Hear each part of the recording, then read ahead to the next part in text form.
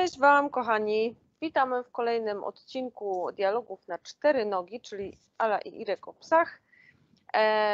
Mówi Alicja Milewska, czyli inaczej Ala od Jazza. E, I rozmawiam z Irkiem Czerniejewskim. Nas już znacie, jesteśmy z Wrocławia, zajmujemy się e, treningiem, szkoleniem, wychowaniem i pomocą y, psom i właścicielom psów. E, No i też mamy misję edukacyjną już od wielu lat. y, Ja od y, 11, a Irek y, od 20 ponad. Y, Także dzielimy się tutaj z Wami naszym doświadczeniem. Bardzo się cieszymy, że możemy y, to robić. Y, Irku, czy chcesz coś jeszcze o sobie powiedzieć, czy, czy coś dodać? Witam serdecznie. Nie, chyba wszystko już zostało powiedziane we wcześniejszych odcinkach. Jedyne, co chciałbym dodać, to to, że jakby w naszej pracy opieramy się głównie na komunikacji psów, na obserwacji psów. e, Korzystamy z etogramu zachowań psów i to jest dosyć istotne, e, że e, opieramy się na, na najnowszych doniesieniach naukowych o tym, jak pies działa, jaki jest, e, co go motywuje e, i to jest dla nas jakby podstawą pracy. O tak, dokładnie. Dokładnie tak, y, dlatego jakby te nasze różne pomysły i, i wywody, które będziecie tutaj słuchać, to em, no też jakby nie jesteśmy gołosłowni, bo to wszystko działa w praktyce również. E, Dzisiejszy temat to agresja do psów i ludzi. E, No właśnie, Irek, e, jak ty się spotykasz w swojej praktyce? Ja to generalnie bardzo często nadal słyszę, mimo tego, że już ta świadomość gdzieś tam rośnie o tym, że, że właśnie psy się komunikują, w jaki sposób to robią, że etogram jest no, coraz bardziej znany. Może też powiedzmy, co to jest etogram, czyli że to jest taki słownik psi, tak można powiedzieć. To zbiór charakterystycznych zachowań dla danego gatunku. E, No i tutaj ten psi także został stworzony. E, Natomiast nadal mimo tej poszerzania tej wiedzy, to mam wrażenie, że często agresja jest odbierana jako coś złego i coś, co należy wytępić, wyplenić po prostu. Jak tylko pies zaczyna to okazywać, to już po prostu ludzie mają, wiesz, yy, obłęd w oczach i, i przychodzą niemalże e, w desperacji, proszę pani, co tu zrobić, bo on zaczął się zachowywać agresywnie. E, Czy ty też się spotykasz z takim lękiem przed agresją? E, Tak, tak, zdecydowanie tak. E, Agresja ogólnie jest postrzegana jako coś, e, coś złego, coś niewłaściwego. E, Co dziwne, e, wśród ludzi agresja pomiędzy nami ludźmi już nie jest aż, aż tak e, mocno negatywnie postrzegana i zachowania agresywne Mhm. wśród ludzi są bardzo często dużo bardziej akceptowalne lub nawet wręcz ludzie y, potrafią zrozumieć, że są potrzebne, bo jeżeli próbuję komuś wytłumaczyć, y, czym jest agresja i dlaczego dane zachowanie nie musi być od razu negatywnie odbierane, y, to, to często bardzo y, posługuje się przykładami człowiek kontra człowiek, bo to jest Mhm. takie dużo bardziej zrozumiałe dla ludzi i wtedy rzeczywiście y, rzeczywiście no, jakoś to dociera dużo szybciej, tak? Dużo, dużo szybciej ludzie zaczynają to akceptować i inaczej spoglądać na problem, bo to jest jakby podstawą, y, podstawą zrozumienia tego problemu i rozwiązania tego problemu jest odpowiednie spojrzenie na niego, tak, z odpowiedniej perspektywy, czyli Mhm. uznanie tego, że, mm, że agresja jest częścią komunikacji pomiędzy psami. Tak? Częścią komunikacji, która bardzo często jest niezbędna do osiągnięcia pewnych, pewnych celów y, i y, no, musimy ją zaakceptować, ponieważ no, groźby, tak, jakieś oburzenie, kary, wprowadzanie kar Mhm. zazwyczaj eskalują te problemy agresywne i one, one no, nieraz gdzieś tam zostaną zahamowane i powiedzmy przestają występować, no to gdzieś tam indziej sobie wyjdą przy okazji innej i, i te problemy nadal, nadal są, tak? No, nie rozwiązuje Tak, się ich w ten tak. sposób. Dokładnie. No dokładnie. No i właśnie tutaj zacząłeś, jakby też poruszyłeś tą kwestię, jakby tu sam począteczek, że tak powiem, chciałabym to rozwinąć, no bo agresja czemuś służy, tak? Ona, y, ona jest po to w komunikacji, e, żeby przede wszystkim zapobiegać bardzo poważnym w skutkach konfliktom. E, I to, że psy na przykład na siebie szczekają, warczą, e, czy nie wiem, nawet czasami coś, co wygląda groźnie bardzo, się pojawia między nimi, typu jakieś tam kłapanie e, przed pyskiem albo przygniatanie e, ciałem drugiego psa gdzieś tam do, do, do podłoża, czy, czy inne równie bardzo intensywne sygnały, one jednak nadal, mimo że są intensywne i mogą wyglądać groźnie, nadal mają na celu zapobiec takiemu realnemu atakowi, takiemu pogryzieniu i zrobieniu celowemu, e, celowej krzywdy po prostu, wyrządzeniu szkód. Mm, I no właśnie, my, my się często boimy, tak, że o Jezu, no tak, on już warczy, a co to będzie za dwa lata? No nie, e, tak jakby każdy pojawienie się sygnału agresywnego u psa miało być zwiastunem tego, że pies właśnie wkracza na ścieżkę mordercy i, i będzie te psy niemalże zaraz zabijał na każdym kroku.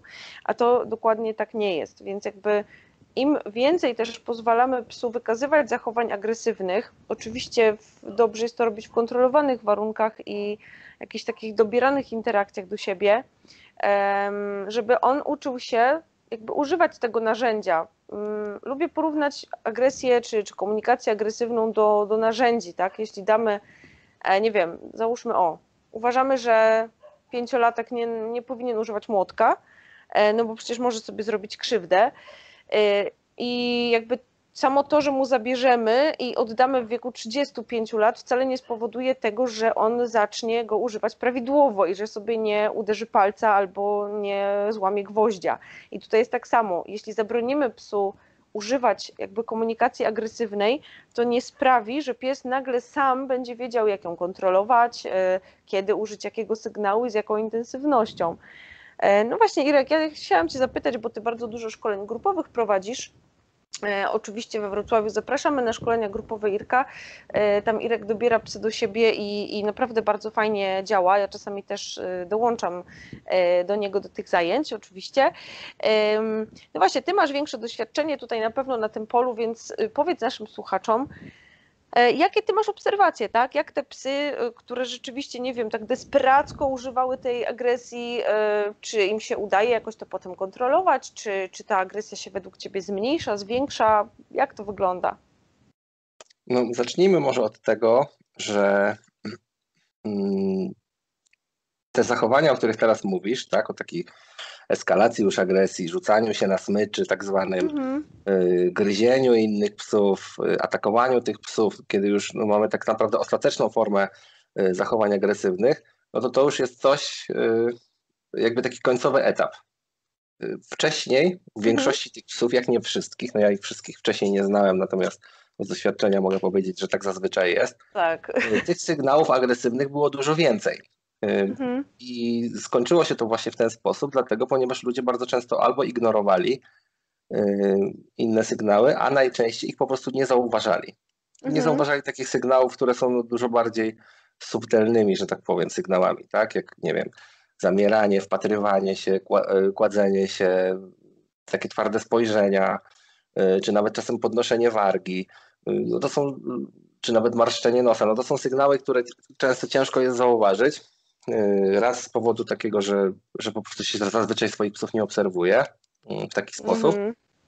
No a dwa, dlatego, że, że nie wiemy, że, że te zachowania y, mogą y, oznaczać um, agresję, tak? Nie, jakby mm nie mhm. znając się na tym, no to, to możemy tego nie zauważyć, możemy to pominąć. No i później pies zaczyna sięgać to, co, co, po coraz to silniejsze środki, że tak powiem, aż, aż w końcu zaczynasz na tej smyczy się rzucać i, jest takim, no powiedzmy, silnie agresywnym psem, takim typowym tak zwanym psem agresywnym, na który zachowuje się agresywnie.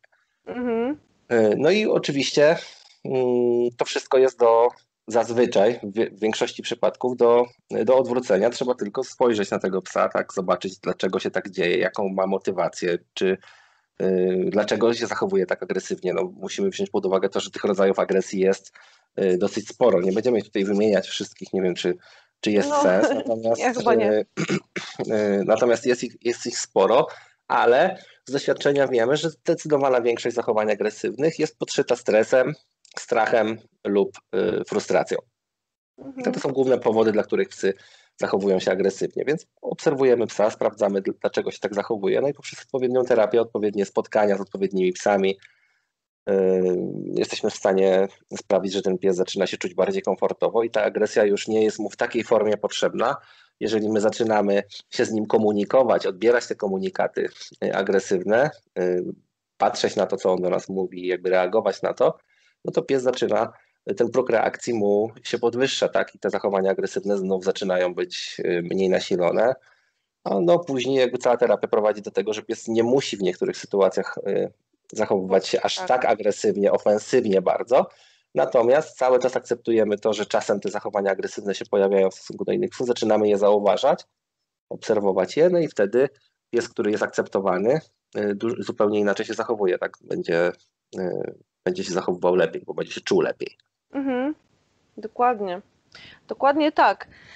E rzeczywiście, wiesz, ja tak celowo jakby tutaj też opowiedziałam na początku o tych takich najbardziej wyraźnych sygnałach, no typu właśnie jakieś rzucanie się i tak dalej, no bo to zwykle widzimy, nie? E, taki zwykły, przeciętny opiekun psa y, mówi nam o tym, że pies się zaczyna zachowywać agresywnie, jak usłyszy warczenie albo jak zobaczy, że pies się rzuca, prawda? E, natomiast jakby wcześniejsze sygnały, te drobniejsze, o których powiedziałeś i jest ich oczywiście dużo, dużo więcej, no bo jakby samego etogramu agonistycznego mamy tutaj um, około setki zachowań, niecałe, no tam jest chyba z 80, może przesadziłam. E, no i jeszcze są sygnały demonstracyjne, które też mogą w niektórych przypadkach um, kończyć się, czy zapowiadać y, eskalację y, właśnie różnych tych emocji, które, e, które Irek wymienił tutaj, które też mogą prowadzić do zaostrzenia agresywności. Natomiast y, te wszystkie sygnały, które mm, widzimy w stosunku do innych psów, mm, również mogą się pojawić w stosunku do nas, do ludzi. E, I bardzo często oczywiście wykazywanie agresji do człowieka jest mylone z dominowaniem go, o czym będzie w następnym odcinku, bo to jest cały osobny temat e, do poruszenia. E, oczywiście jest to nieprawda i tutaj jeśli mówimy o agresji w stosunku do ludzi, to ja mam wrażenie, że takim największym problemem chyba przynajmniej jakby w tych przypadkach, z którymi ja się spotykam, takiej zwłaszcza agresji domowej, w stosunku do, do domowników, do członków rodziny psa, mm, jest to, że ludzie oczywiście boją się tej agresji i jak najwcześniej chcą ją ukrócić, tak? Czyli jak pies zaczyna warczyć, to zostaje za to ukarany. E, jak zaczyna, nie wiem, bronić miski, szczekać przy tym, to, to ta miska jest zabierana, tak? To też oczywiście jest forma kary. Czyli jakby staramy się zablokować w nadziei na to, że e, no, nie, nie rozwinie się ten potwór, nie?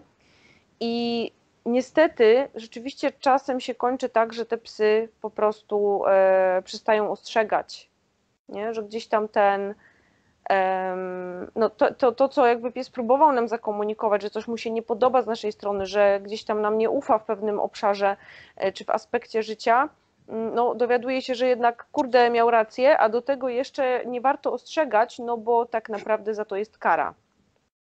E, tak. No, nie? I potem jest trudno dosyć to odkręcić, żeby pies uwierzył, że to warczenie wystarczy, żeby nas y, jakby zdystansować, czy to twarde spojrzenie, czy te inne łagodne sygnały, na które jak zareagujemy, no to jeszcze tak naprawdę no jesteśmy bezpieczni, prawda, wtedy. No musimy pamiętać o tym, że zahamowanie zachowania nie tylko agresywnego, bo o tym też mówiliśmy wcześniej, nie rozwiązuje problemu, ponieważ zachowanie jest determinowane przez stan emocjonalny bardzo często psa. Tak, no tak. jest to część jakby tego y, powodu, tej motywacji, dla której pies to robi. Y, więc ten stan emocjonalny się nie zmienia y, poprzez samo zahamowanie zachowania, a jeśli się zmienia, no to raczej się zmienia na gorsze.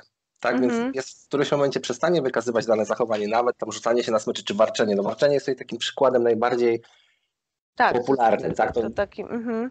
Co drugi, trzeci pies, który przychodzi do mnie na zajęcia, kiedyś tam zawarczał i, i został za to skarcony.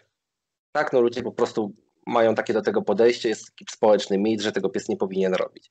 Mm-hmm. No i tak jak mówiłaś, najczęściej znika zachowanie, natomiast nie znika problem i pies po prostu przestaje warczeć, a zaczyna gryźć. No, co dla nas jest bardzo niekorzystne tak z punktu widzenia człowieka, no to jest mhm. to bardzo niekorzystne, ponieważ nie, nie mamy pojęcia, co się z psem dzieje, tak on już nas nie ostrzega, przestaje się z nami komunikować, to znów zaburza też samą komunikację na linii człowiek-pies.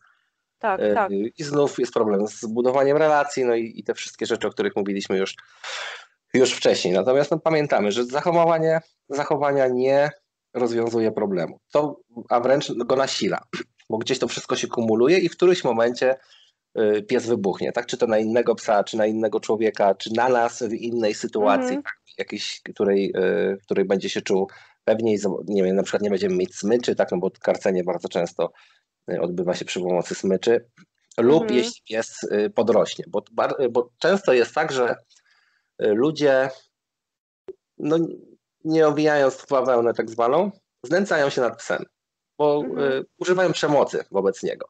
Mhm. I bardzo często się to zdarza w stosunku do szczeniąt. Do szczeniąt, które na przykład warczą, Mhm.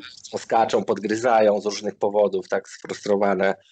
Y, no, to Często y, ten alfa roll, tak zwany, czyli Tak. tam przyciskanie psa do ziemi lub po prostu tam jakiś klaps, uderzenie w popysku dałem psu, czy tam strzeliłem go, no różne słyszałem już tam nazwy. Tak, No to- szczepnąłem za ucho, jakieś tam. Tak, tam y, Gryzłem, niektórzy nawet gryzą. go w boczek, tak jak to Cezar Milan robił, w boczek. No to wszystko to jest używanie przemocy i nie można tego nazywać inaczej, to jest po prostu przemoc. I ja bardzo często pytam ludzi, jak na przykład ostatnio moja klientka opowiedziała mi na zajęciach, że była u weterynarza, no i na tą weterynarz ten pies tam skoczył, y, ugryzł ją, y, tak frustracyjnie, nie jakoś tam Mhm. bardzo mocno. Mhm. Y, No i ona go przycisnęła do ziemi, no bo on nie może tak robić i y, nie, nie, nie może się tak zachowywać, nie może próbować dominować. No i ja powiedziałem jej, żeby następnym razem ją zapytała, czy gdyby przyszła z 75-kilogramowym mastifem, samcem, trzyletnim, czy też wzięłaby go i przycisnęła do ziemi, rzuciłaby się na niego, tak? Czy raczej uciekłaby do swojego y, pokoiku, tam gdzie wypisuje faktury na przykład. Tak. Bo nie jest trudno znęcać się nad słabszym. Tak, Mhm. takim, który nie jest w stanie nam oddać Tak. wtedy nie musimy go rozumieć. Tak jest to taka, taka szybka. Oczywiście ludzie, to nie chodzi też o to, że ja tutaj bym chciał kogoś oceniać. Ludzie Mhm. tego nie robią bardzo często y, w- złym kontekście, tak? Mają intencje dobre, chcą, żeby, y, żeby ta relacja była dobra, no bo żeby pies nie, nie dominował na przykład, tak? No tak ktoś im powiedział, Tak, ktoś ich tak, tak, tak. nauczył.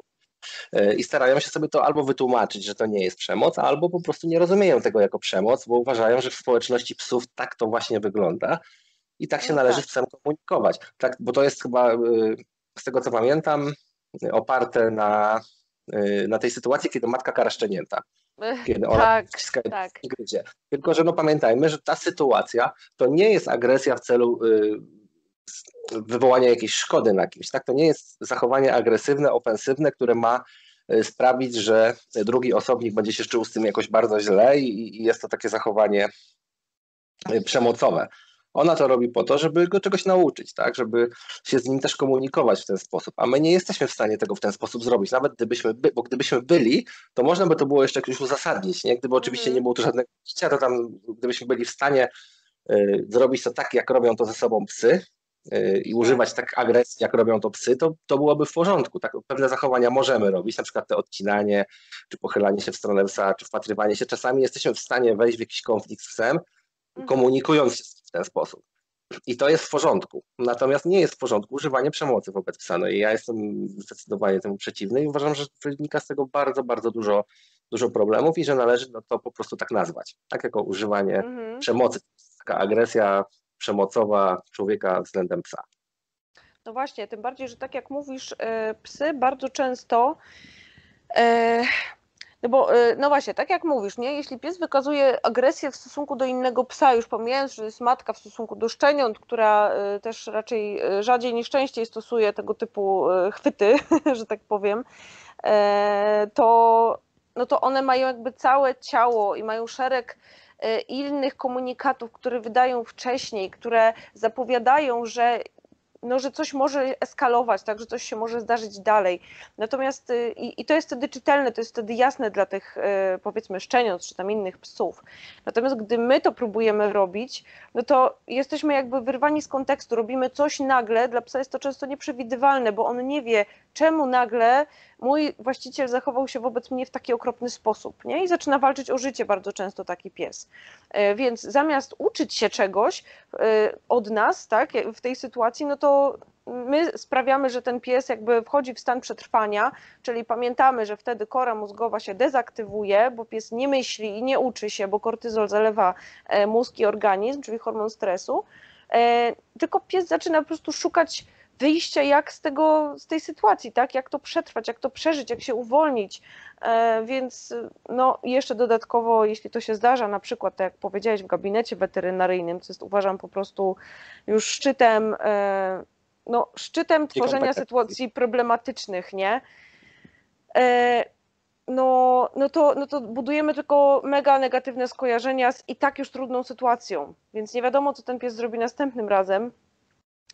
E, no bardzo współczuję i psu i opiekunce tak naprawdę, bo teraz pewnie będą mieli jeszcze u weterynarza coś do odpracowania. Ale no właśnie, to jest takie błędne postrzeganie. I tutaj jeszcze, o właśnie, jeszcze chciałabym tutaj poruszyć przy okazji, bo to też mnie dosyć denerwuje, ale rozumiem, że to jest nadal cały czas jakby efekt y, tego autorytetu, tak, czyli ten, no powiedzmy sobie, eksperyment Milgrama bardzo ładnie to pokazywał, podczas którego poddawano ludzi y, rażenie prądem i, i tam, no możecie się zapoznać, zresztą może znajdziemy gdzieś tam jakiś link czy odnośnik do tego, e, bardzo, bardzo polecam się z tym zapoznać, bardzo ciekawy eksperyment. E, jak ludzie widzą fartuch, albo widzą jakiś tam uniform trenera, e, koszulkę z logo, to bardzo często poddają się presji działania autorytetu, tak? Czyli w normalnej sytuacji nie pozwolilibyśmy, żeby obca osoba, która nie zna ani nas, ani naszego psa, nagle ni z gruchy, ni z pietruchy wzięła i go przygniotła do ziemi. Nie? E, natomiast jak widzimy mm, fartuch czy inny rodzaj tam insygnium władzy, że tak powiem, e, to nagle stwierdzamy, że kurczę, no to chyba tak trzeba, no to było potrzebne, nie? Tak, żeby mu tak zrobić. I, i pozwalamy, nie? Też na, tak. no, na takie zachowania.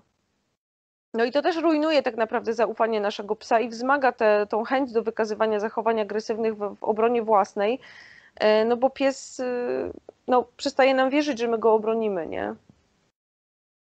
Tak, tak. To nie, nie, na, na chwilę obecną w sytuacji, kiedy zaczynasz szkolenie z psami, ktoś zaczyna używać wobec niego przemocy, no to kończysz to szkolenie, po prostu takie jest moje zdanie. Dokładnie. Nie ma już żadnego usprawiedliwienia na to, y, bo tak jak kiedyś jeszcze, no też można powiedzieć, że nie było usprawiedliwienia, no ale taka była aktualna wiedza ludzi na temat y, funkcjonowania psa, tak ta teoria dominacji, no tam od lat 50.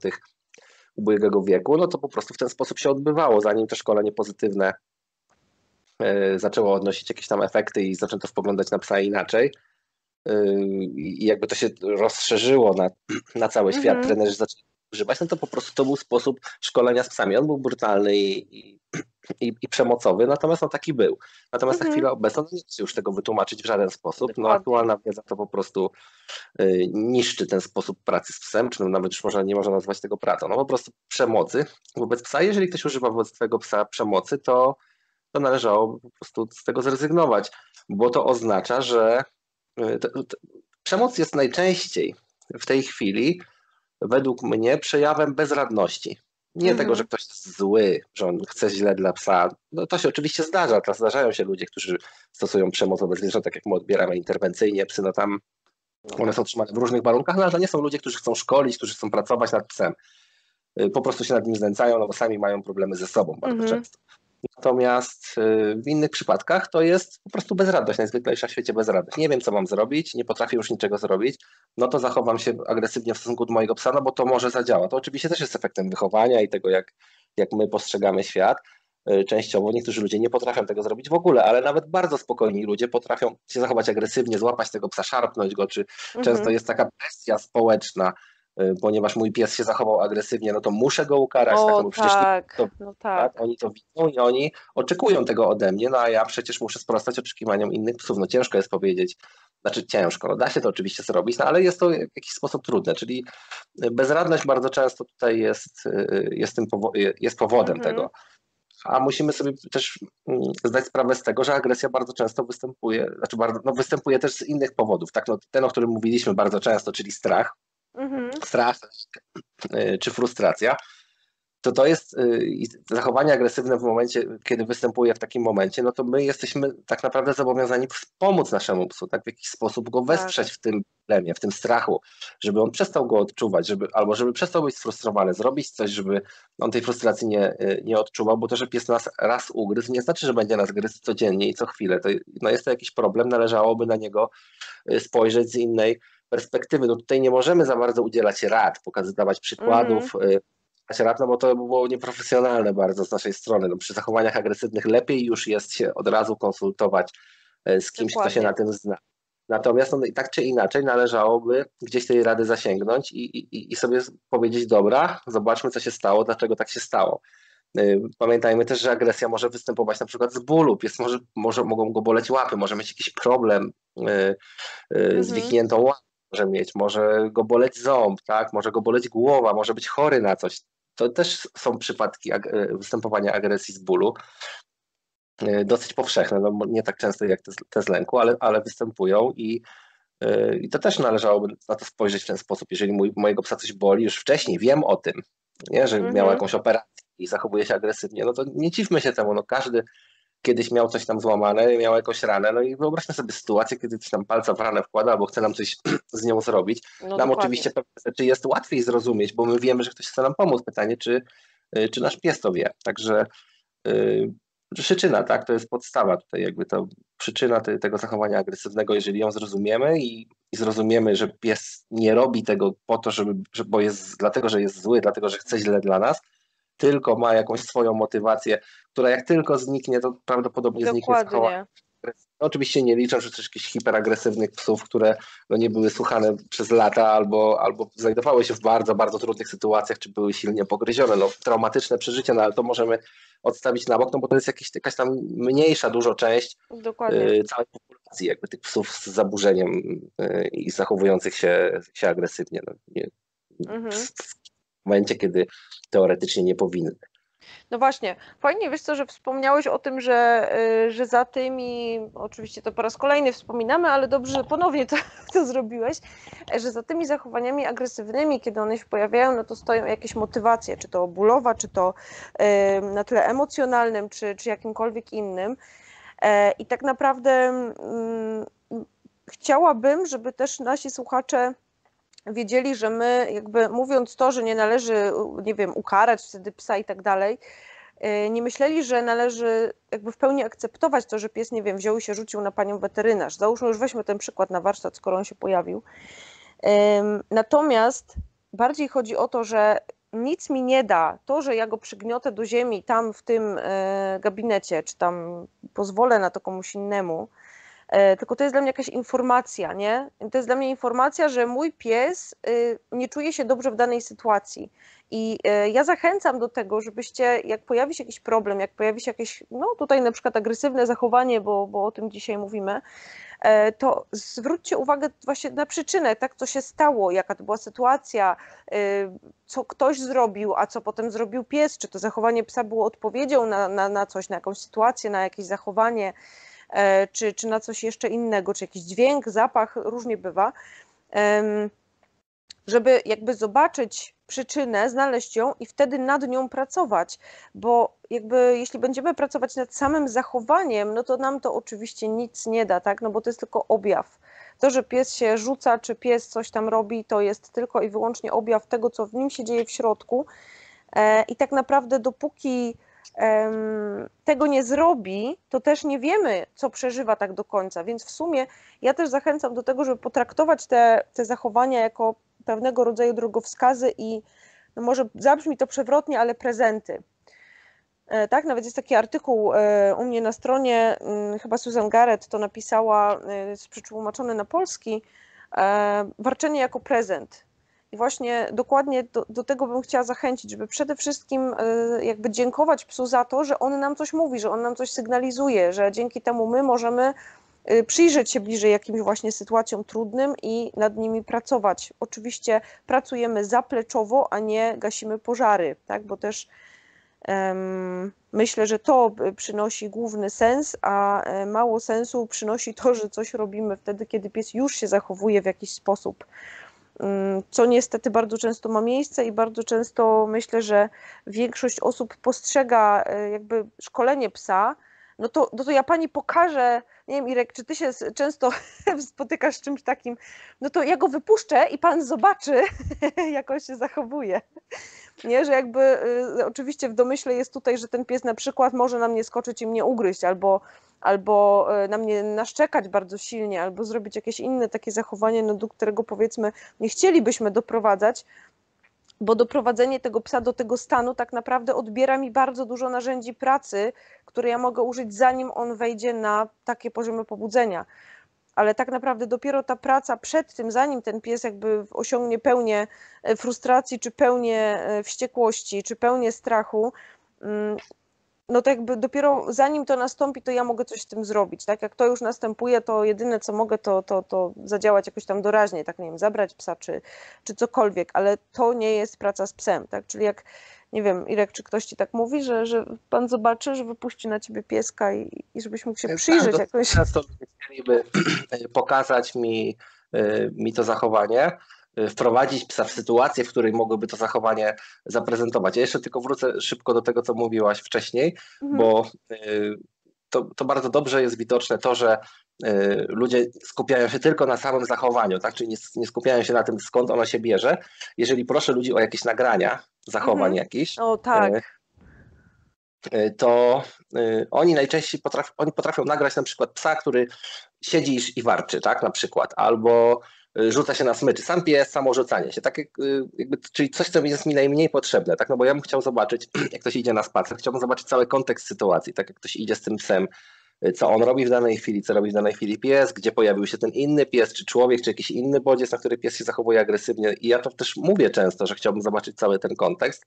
Zazwyczaj to mówię, jeżeli chcę zobaczyć nagranie. Mm a dostaje bardzo często po prostu to samo zachowanie. Tak? Czyli tego psa, tak. tak który, warczy czy szczeka, jakby to było w tym najważniejsze, a to mhm. oznacza, że ludzie myślą, że to jest najważniejsze, tak. nie? czyli tak. dla nich reszta, y, reszta się nie liczy. Natomiast wracając do, do tego pytania, to, to oczywiście bardzo często ludzie chcą wprowadzić już na dzień dobry psa w tą sytuację, tak. żeby pokazać, jak on się zachowuje. Ja zawsze staram się wszystkim wytłumaczyć, że ja wiem, jak jak się zachowuje agresywny pies. Nie chcę tego widzieć i nie mamy potrzeby takiej, żeby wprowadzać psa w trudną sytuację, tylko po to, żeby coś sobie zaobserwować. Mhm. Tak naprawdę najlepszą sytuacją byłoby, gdybyś już pies nigdy nie musiał się tak zachować i nie będziemy musieli go już e, widzieć w tej sytuacji. Tak więc może zacznijmy od razu e, stwarzać psu warunki, kiedy e, kiedy będzie czuł się lepiej i kiedy będziemy mogli zacząć z nim pracować. Oczywiście te zachowania agresywne będą się jakieś pojawiać, tak.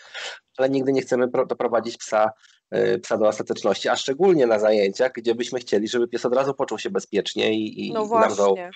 żeby, y, y, bo też a często nie nabrał ludzie... złych z, z, skojarzeń, tak? Z miejscem tutaj i sytuacją. Się zachowuje inaczej, tutaj się on zachowuje, to, to nie jest normalne. Czy, pamiętam, jak na ostatnich warsztatach powiedziałaś, to było naprawdę dobre, bo y, wszyscy właśnie mówili, że to nie jest normalne, że się tak normalnie nie zachowują, a to właśnie jest normalne, nie? To one się tak. zachowują bo my im stwarzamy do tego warunki, a to, co się dzieje poza, to jest nienormalne i to nie powinno, e, nie powinno mieć miejsca. Także no zawsze staramy się stworzyć takie warunki, żeby pies mógł, e, mógł, się, no mógł się też uczyć, tak? Bo jak pies już wybucha, no to on się nie uczy, on nie ma świadomości bardzo Dokładnie. często już tego, co się dzieje. I, I, uczenie go w takiej sytuacji nie ma sensu, a nawet y, nie jest możliwe. Nawet gdybyśmy chcieli bardzo, to, to pies i tak się niczego nie no nauczy. Właśnie. No właśnie, wiesz co, teraz mi się przypomniała taka sytuacja, gdy odebrałam kiedyś taki telefon i, i pani mnie pyta, czy, czy, czy ja się spotkam z nią w parku.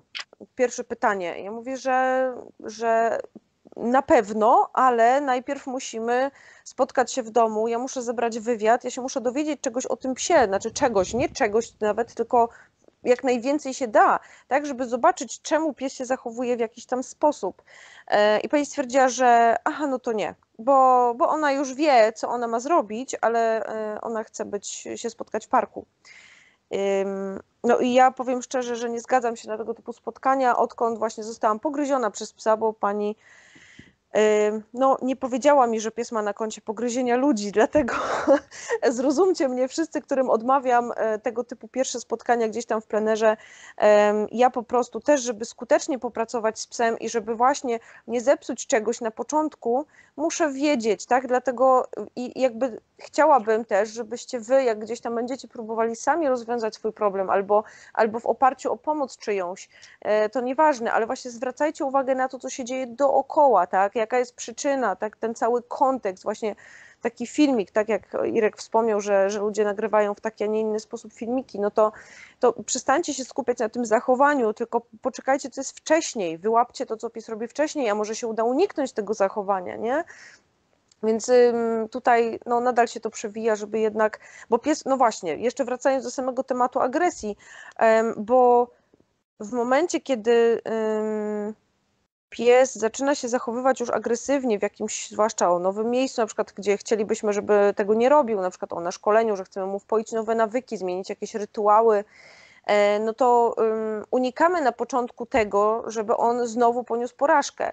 Bo dla psa to, że on wybucha, to, że on się tak zachowuje, często jest pewnego rodzaju e, no, niewytrzymaniem tak, w danej sytuacji, przekroczeniem pewnych granic, które on już po prostu nie, nie, nie, no, nie dał rady e, wytrzymać. Więc głównie chodzi nam o to w pracy z psami, takiej skutecznej i, i długotrwa, znaczy długo, żeby ten efekt pozostał na długo, o to mi chodzi. E, bazujemy na tym, żeby zbudować mu dobre skojarzenia, dobre e, wykonania, dobre sukcesy, znaczy dobre sukcesy, sukcesy są no może, dobra, mogą nie być dobre czasami, jakkolwiek to brzmi, e, natomiast rzeczywiście, żeby pies wiedział, że on coś potrafi, że my go wspieramy, że my się cieszymy z jego postępów, tak? E, no a jakby to nie może mieć miejsca wtedy, kiedy go ładujemy od razu buch, taką sytuację, że on już musi szczekać, musi warczeć, musi, nie wiem, e, cokolwiek. Natomiast te sygnały wcześniejsze też mogą być już agresywne, nie? Więc tutaj chciałabym jeszcze tak. dojść do takiego przewrotnego wniosku, który chyba też y, już poruszyliśmy na początku, czy wspomnieliśmy o tym, że tak naprawdę też prezentowanie sygnałów agresywnych e, no, może sprawić, że nasz pies przestanie mieć potrzebę wykazywania ich w takim silnym, e, w takiej silnej odsłonie nie? Czyli on jakby nauczy się, że wystarczy może odsłonić same zęby i już sobie ktoś pójdzie, albo wystarczy, nie wiem, spojrzeć y, tak gdzieś tam z ukosa, zatrzymując tą osobę czy tego psa i odejść w krzaki, y, czy jeszcze inną strategię użyć, która okaże się, że ona działa, nie? Czyli jakby mm, to właśnie tutaj też strategie radzenia sobie są różne u psów, między innymi jest to, jest to podjęcie walki, ale y, jeśli pies pozna inne strategie, no, raczej będzie unikał tej bardzo kosztochłonnej, energochłonnej dla organizmu e, strategii, jaką jest taka właśnie desperacka agresja, nie? No, musimy pamiętać, że, że, że zachowanie agresywne bardzo często jest używane właśnie po to, żeby ten dystans zachować. Tak, żeby dokładnie. Nie? I, I, jeżeli będziemy tego przestrzegać lub no, w, w relacji człowiek-pies lub y, będziemy tego przestrzegać w relacji pies-pies, czyli na przykład dbać o naszego psa tak poprzez to odcinanie zastawianie y, innego psa, czy tam no, próbę nawet y, podążania za innym obcym psem, żeby sobie poszedł do jakiejś kontroli nad tym psem, który jest problemem dla naszego psa, no to wtedy też te zachowania agresywne będą dużo właśnie subtelniejsze lub po prostu w ogóle ich nie będzie, pies nie będzie musiał ich prezentować, ponieważ my, mhm. my poradzimy sobie, sobie za niego. No, musimy pamiętać o tym, że Y, o tym, o tym jakby podsumowująco już, nie? że te zachowania agresywne bardzo często y, są wywoływane strachem, więc nie są złym zachowaniem w mhm. sensie takim ludzkim, y, że ten pies potrzebuje wsparcia od nas, a nie, a nie że my mamy być, być jego wrogiem, tak? Że z jednej strony jest wróg, jeżeli tak. oczywiście pies nie, nie zachowuje się agresywnie w stosunku do nas. Y, a nie, że my jesteśmy jeszcze tym dodatkowym wrogiem, tak naprawdę po drugiej stronie często smyczy, no bo jeżeli mamy psa agresywnego, to on bardzo, lub zachowującego się agresywnie, może inaczej, tak, mm -hmm. przejawiającego zachowanie agresywne, no to bardzo często on, on jest prowadzony na smyczy. Y, ale tak naprawdę zachowanie agresywne może się też pojawić przy silnym pobudzeniu, czy podczas zabawy nawet. Może się pojawić y, zachowanie agresywne mm -hmm. przekierowane, może ono być tak, kiedy pies jest mocno pobudzony, rzuca się na coś, może też ugryźć nas na przykład, tak? Tak, tak. jak nie będzie miał już, y, już czegoś złapać.